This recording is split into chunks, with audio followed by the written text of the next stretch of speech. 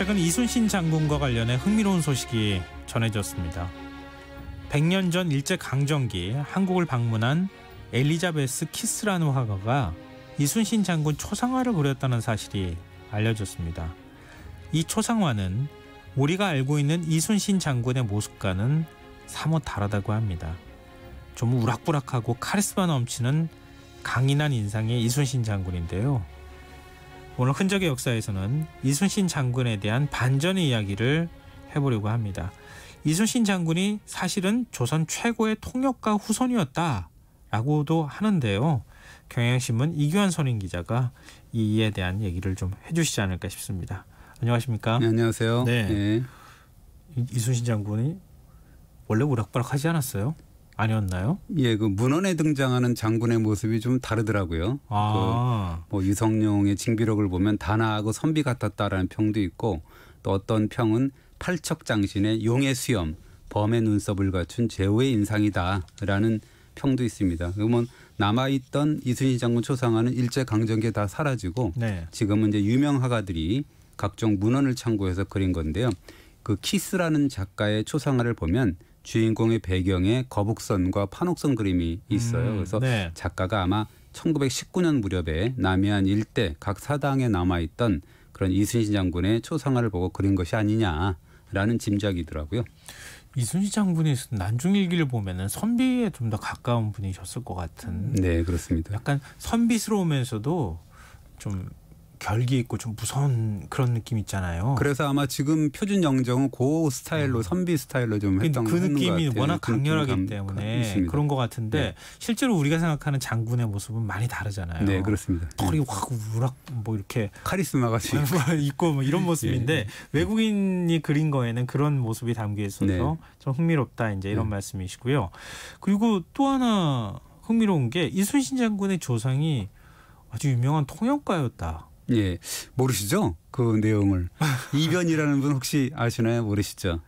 잘 모르죠. 네, 모르죠. 그러니까 이순신 장군의 오대조 할아버지인데요.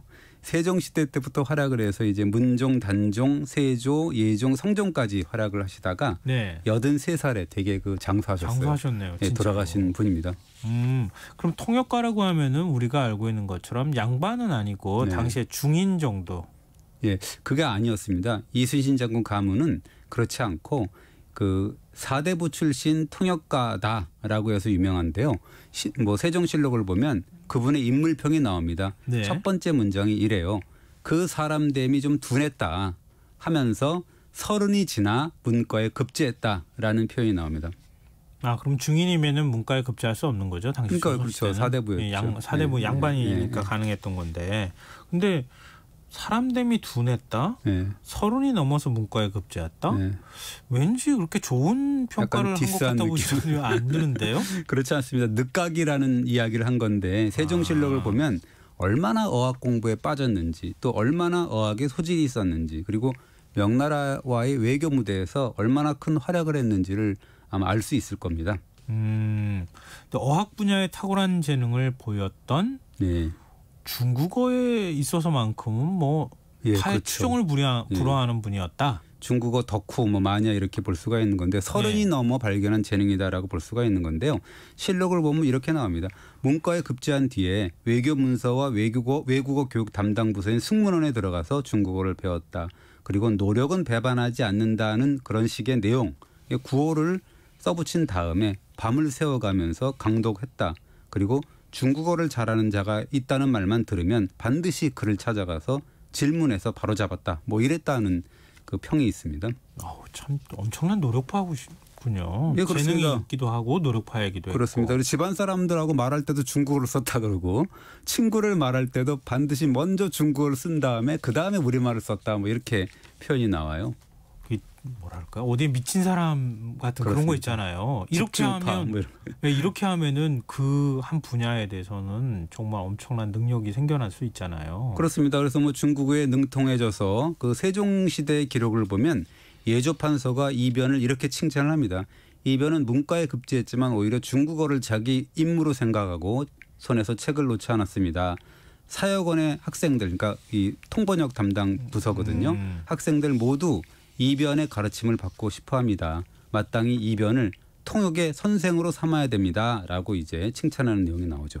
어, 그때는 뭐 이제 사대하던 시절이었으니까 네. 중국어 잘한다는 게 굉장히 이렇게 뛰어난 능력으로 보였을 거고 그렇습니다. 학생들이 저도 좀 가르쳐 주세요 그러면서 뒤를 졸졸 따라다녔다는 거잖아요. 그렇습니다. 지금으로 따지면 뭐 그걸 일타 강사 뭐 이렇게 일태 강사. 그러면서 예. 가히 뭐 어학 공부의 전범이라고 할 수가 있는 건데 예. 단순한 통역자만은 아니다라는 게 음. 있고 외교관으로도 주목을 받는데 세종 때는 그 명나라 학자들하고도 학문을 나누는 그런 수준이었고 어, 그때 중국 학자들은 이변을 뭐 아주 극찬을 하죠. 어, 뭐 어떻게 칭찬을 했길래요? 그렇죠. 그러니까 이변의 외교 문장은 조선뿐만 아니라 중국에서도 통하는 명문이다라는 내용으로 이제 칭찬을 하고 실력뿐이 아니고요.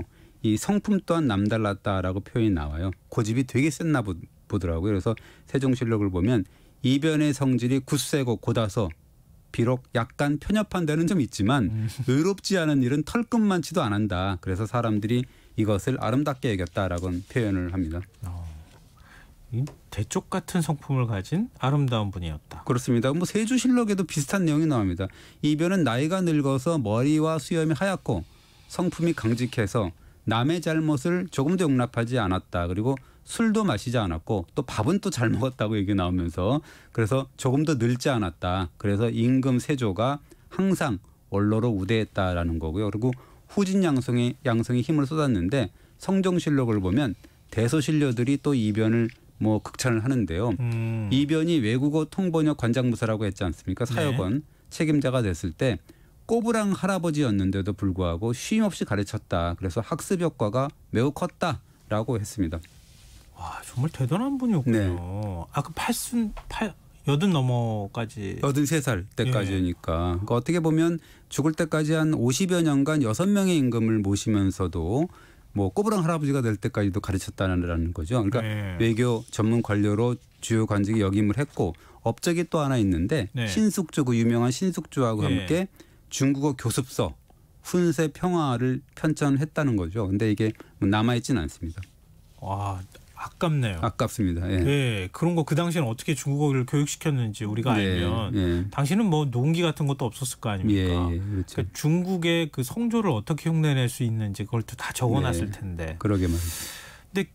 원래 이순신 장군 가문이 어학에 이렇게 재능이 있는 거예요. 그런 것 같아요. 그래서 이순희 장군의 증조부 이거라는 분이 계시거든요. 네. 이분도 되게 유명합니다. 성종 임금이 중국에서 이제 외교 문서가 오니까 이렇게 얘기를 해요. 아 이거가 외교 문서를 잘 알고 있으니까 이거한테 번역하도록 해라라는 음. 지시를 내리는데 당시 그 중국에서 오는 외교 문서는 굉장히 독특한 문체를 써서 이문이라고 했습니다. 그래서 아무나 읽을 수가 없었다 그래요. 근데 그거를 그 이순신의 증조부께서 되게 그 능통했다. 그래서 그분한테 맡겼다 이런 내용이죠.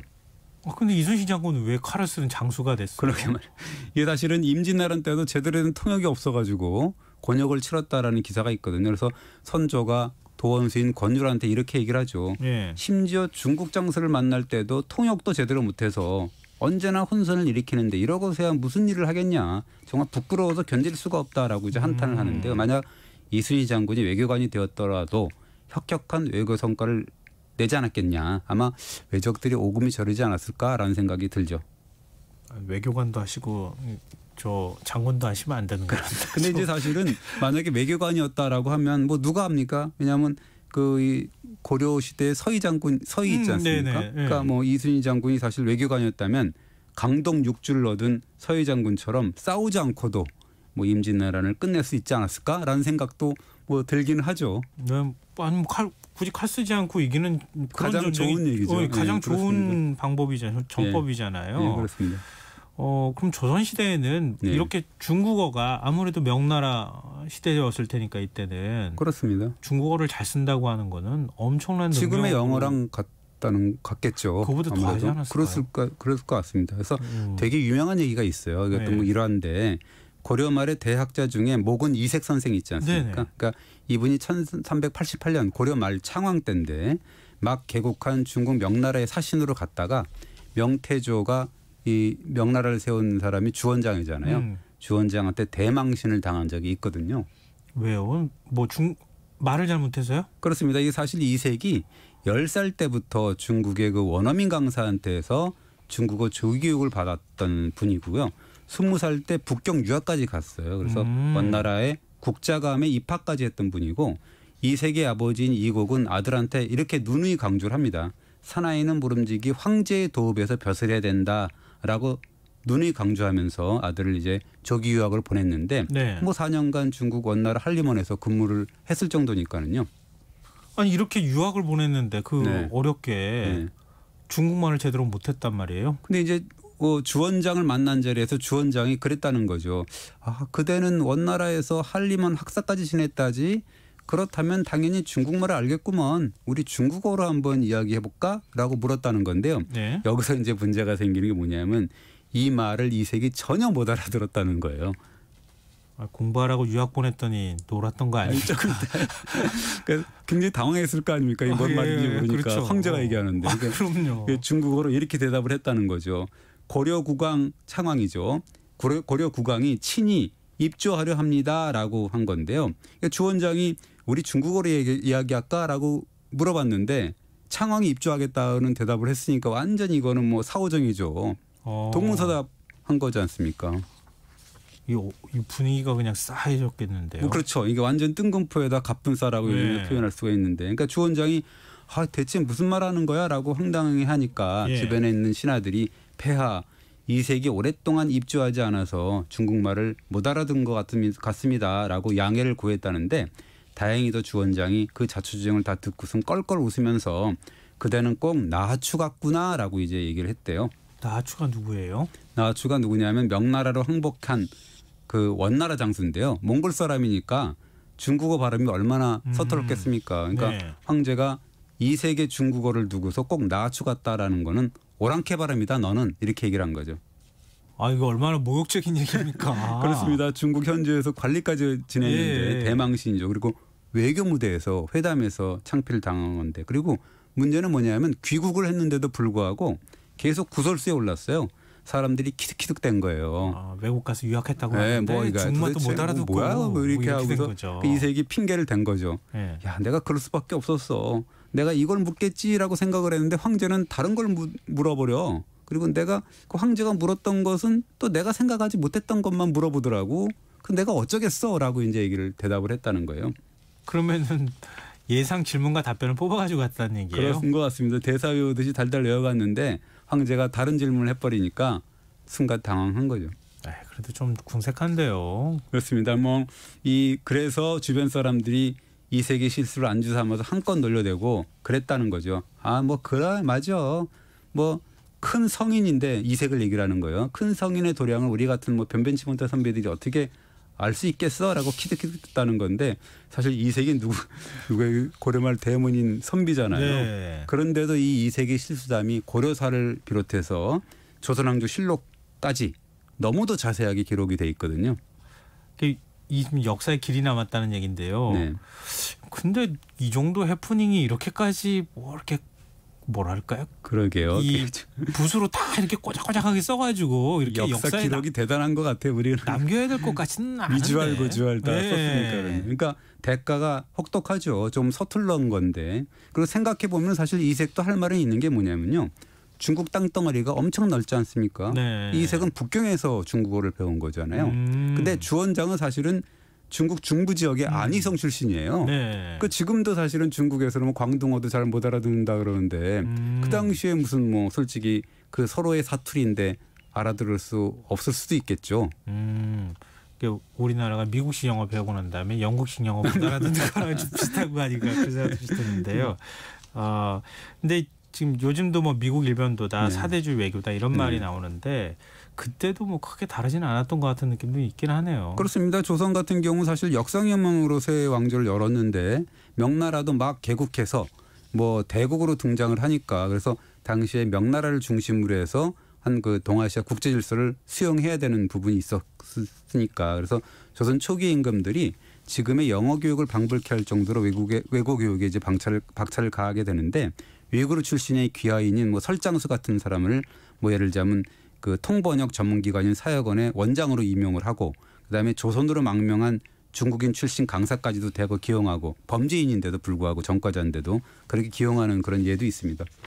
근데 또 거꾸로 그런 네. 얘기도 있잖아요. 지금 역관들이 중간에서 뭐 예를 들면 청나라 쪽에 쪽에 붙거나 명나라 네. 쪽에 붙어가지고 우리한테 와서 뭐 뇌물을 요구하거나 막 행패 부리거나 이런 사람들도 꽤 있었거든요. 어, 그런 예가 많고요. 그 우리나라 출신 그런 그 이 명나라 저 통역관 이런 사람들이 오히려 더 그 나쁜 짓을 많이 해갖고 괴롭히고 막 그랬다는 얘가 굉장히 수도 없이 많이 얘가 나오죠. 음, 막 거의 이를 갈았다고 할 정도로 그렇습니다. 그렇게 행태가 예, 심했다 이런 예. 얘기도 좀 한편으로 있긴 한데요. 아, 물론 뭐 지금 저희가 오늘 전해드리는 그런 분들하고는 상관이 없는 분이긴 그렇습니다. 하지만.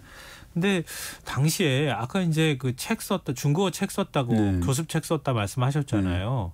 근데 이 외국어 교육이라고 하는 게 쉬운 일이 아니잖아요. 그렇습니다. 그래서 뭐 이 세종 때 역시 이제 세종이 뭐 많은 뭐 업적을 남기긴 하지만 그 세종 때 이런 그 이 통번역의 중요성을 절감을 하죠. 사대 외교를 하는데 통번역처럼 중요한 건 없다 이런 식으로 하는데 그 우리 사신이 명나라 갈땐 통역이 안 돼 갖고 조롱과 비웃음을 받게 된다 이런 지적도 나온다. 그래서 세종 때는 사역원 안에서 밥을 먹을 때나 토론할 때 물론이고 역시나 심지어는 잠을 잘 때까지도 무조건 중국말만 쓰게 하고 만약 조선어를 해서 규율을 어기면 곤장을 맞고 막 이런 식으로 처벌을 받도록 했습니다.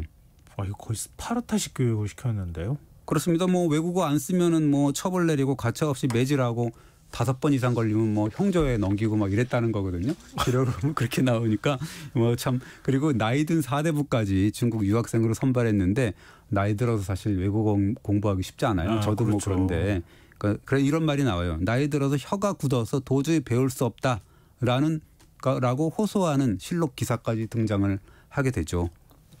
진짜 그 사역원이라는 것이 잘 알려지지 않아가지고 네. 우리가 사실 역사책에서 사역원에 대해서 자세하게 배운 기억이 별로 없거든요. 저는. 그렇습니다. 그래서 뭐 이 중국에서는 이렇게 막 교육을 시켜갖고 왜 이게 중국으로 유학을 보내려고 했는데 중국에서도 막았다는 거예요. 왜 막았냐면 그 괜히 또 이 사람들 유학 보내면 유학 와- 오면 그 명나라 국가 기밀을 빼내지 않을까 뭐 이런 걱정 때문에 또 막았다는 거예요. 뭐 이런 이야기도 있고 그러는 건데 그러나 어쨌든 간에 이 중국어 교육 그다음에 제2 외국어인 뭐 일본어 그다음에 여진어 이런 것들 배우기 위해서 굉장히 그 힘을 쓰고 노력했다는 거고 제2 외국어 같은 그런 거는 좀 홀대받았다 이런 얘기도 있습니다. 뭐 제2 일- 외국어요? 일본어라든지 뭐 아. 여진어 이런 것들은 좀 홀대받았다 이런 기록도 남아 있어요. 우리랑 좀 비슷한 좀 뭐 그렇습니다. 우리가 약간 좀 부끄러운 얘기인데 중국인 사대하고 다른 나라는 다 무시한 그런 게 네, 또 있었잖아요. 뭐 그럴 수도 있을 것 같고요. 일본은 예. 뭐또 이렇게 예. 일본이라고 무시하고 이 그런 게 그때부터 좀 있었던 거 아닐까. 너무 지나치게 중국에 사대했기 때문에 그런 현상이 발생하지 않았을까 이런 생각도 좀 드는데요. 그리고 뭐 지금까지도 그런 순간이 이어지는데요. 그래서 이제 그 그러면 구한말에서 일점 일제 강점기까지 새로운 외국어로 등장을 한 영어 교육이 또 있잖아요. 네, 지금 그렇죠. 영어 교육이 되게 잘못됐다 그러는 건데 네. 그때 분투기가 또 굉장히 눈물겼거든요. 음. 굉장히 이야기거리가 많아서 다음 주에 한번 그이 일, 영, 영어 교육, 음. 어, 영어 교육에 대해서 한번 말씀드리고 미스터 싶습니다. 선샤인의 그 영어 배우는 거 나오잖아요. 있어요. 예, 예. 뭐, 뭐 그런 대단합니다. 얘기를 한번 풀어서 재밌게 좀 얘기해 주시면 그렇습니다. 좋을 것 같습니다. 예. 그리고 저희 청취자 형민, 형민영 씨께서 엘리자베스 화가님 이름 들으니 너무 반가워서 글 남겨요. 엘리자베스 키스. 키스. 예. 음. 예전에 뭐에 홀린 듯 서점에서 책 한 권을 샀는데 1920년부터 40년 20년 동안의 코리아 생활 모습을 그린 책인데 그림뿐만 아니라 당시 있었던 일들을 자세히 묘사해 놓아서 어, 참 좋았다. 이런 이제 그 얘기 뭐 우리가 또 하니까 굉장히 네. 반가운 마음에 문자 아, 보내주셨고요. Q41188 아이디 쓰시는 청취자분께서 역시 이순신 장군 어, 필도 잘 쓰고 칼도 잘 쓰고 대단합니다. 뭐 이런 의견 보내주셨습니다. 예. 이- 이렇게 역사 얘기를 해주시면 많은 분들이 굉장히 흥미롭게 받아들이고 재밌어 하세요. 좀 쉽게 말씀을 더 드려야 되는데요. 예. 어 아닙니다. 지금도 쉽게 말씀 네, 말씀해 주시고 계세요. 예. 영어 교육에 대한 얘기 또 한번 꼭 들려주십시오. 네. 네, 알겠습니다. 오늘 흔적의 역사 경향신문 이기환 선임 기자였습니다. 고맙습니다. 감사합니다. 오늘 모바일 상품권 당첨자는 홈페이지 공지사항에서 확인하실 수 있습니다. 김성환의 시사야 오늘 순서는 여기서 마치겠습니다. 편안한 밤 되십시오.